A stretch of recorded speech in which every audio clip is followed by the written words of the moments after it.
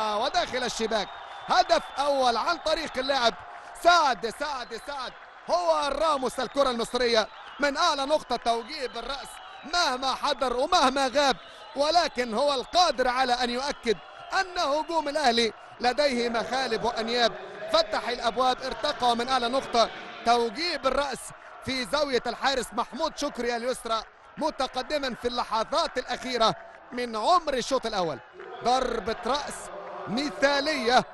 ضربة رأس بشكل نموذجي. عبد الله السعيد يلعبها وسعد يرتقي.